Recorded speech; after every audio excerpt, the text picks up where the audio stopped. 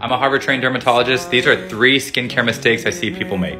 Number one, not paying attention to your nails. If you have a brown band on your nail that is widening or is more than three millimeters, definitely see your dermatologist because you can get melanoma under the nail and metastatic melanoma starting from the nail is what killed the great Bob Marley.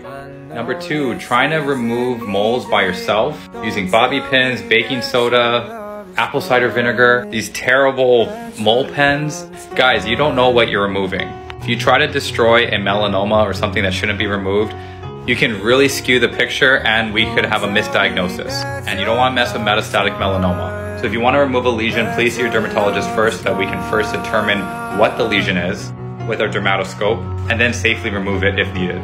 And number three, thinking minoxidil is only for men. Women can use this if you're not pregnant. Women's Rogaine is less than 5%, but women can definitely use a 5% foam. Hope this helps. Peace.